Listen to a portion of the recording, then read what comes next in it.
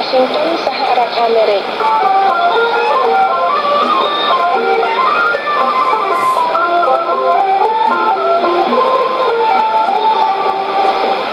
សួស្តីលោកអ្នកនាងនិងអ្នកស្ដាប់ជាទីមេត្រីនេះជាកម្មវិធីផ្សាយនៃវិទ្យុសំឡេងខ្មែរម្ចាស់ស្រុកនៅថ្ងៃប្រហោះទី27ខែសីហាគ្រិស្តសករាជ2015ជាថ្ងៃ13កើតខែស្រាបឆ្នាំមមែសកស័កពុទ្ធសករាជ2559 ខ្ញុំហាសានពីរដ្ឋធានី Washington សហរដ្ឋអាមេរិកសូមជូននីតិកាព័ត៌មានពលរដ្ឋសាមញ្ញខ្មែរខ្វល់រឿងបាត់ដីអ្នកដឹកនាំស្រុកខ្វល់រឿងចាក់អ្នករិះគន់ប្រមុខរដ្ឋាភិបាលចំពោះរឿងដឹកនាំស្រុក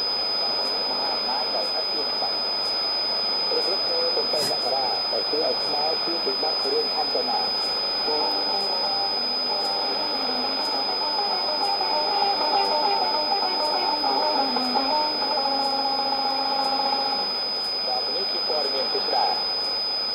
ខ្មែរស្ទើរតែគ្រប់ស្រទាប់លើកលែងតែអ្នកមានអំណាចដោយសារថ្ងៃ7មករាខ្វល់ខ្វាយក្នុងចិត្តគំនិតក្រែងបាត់